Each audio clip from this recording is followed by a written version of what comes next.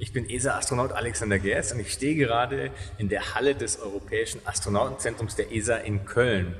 Äh, ich habe bisher das Glück gehabt, zweimal in den Weltraum fliegen zu dürfen, aber auch auf der Erde habe ich äh, an sehr interessanten Expeditionen teilnehmen dürfen.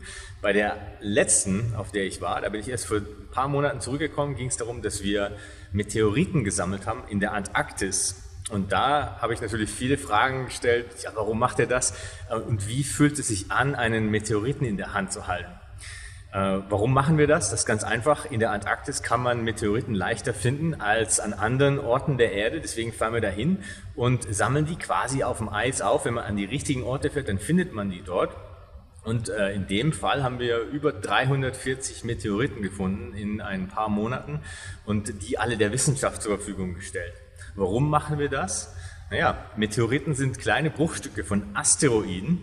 Äh, das sind äh, große Gesteinsbrocken, die im Universum umherschwirren, viele davon in unserem Sonnensystem und einige davon können unseren Planeten Erde irgendwann mal treffen. Die können uns wirklich gefährlich werden. Auch die Dinosaurier sind durch einen ausgelöscht worden. Das ist, äh, soweit wir das jetzt wissen.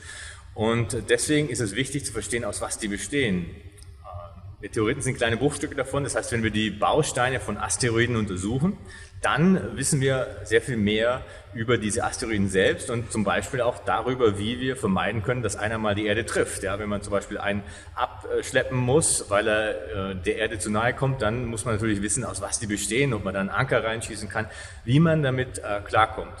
Und äh, deswegen haben wir Meteoriten dann gesammelt in der Antarktis. Ja, wie fühlt es sich an, einen in der Hand zu haben? Ich habe äh, heute keinen dabei. Das hier ist ein Fels, den ich äh, zwar aus der Antarktis mitgebracht habe, aus einer meiner früheren Vulkanexpeditionen. Es ist kein Asteroid und auch kein Meteorit, weil wir die natürlich der Wissenschaft zur Verfügung stellen und die möchte ich nicht kontaminieren, dadurch, dass ich ihn jetzt einfach so anfasse. Ich habe den hier mitgebracht, weil er so ähnlich aussieht, auch ähm, ein bisschen schwarz, ein bisschen verkohlt ähm, und von der Größe her ähnlich. Und ist ein bisschen so ähnlich tatsächlich, äh, den hier in der Hand zu haben, als einen richtigen Meteoriten aufzusammeln, natürlich mit äh, sterilen Zangen und Handschuhen, damit er nicht kontaminiert wird.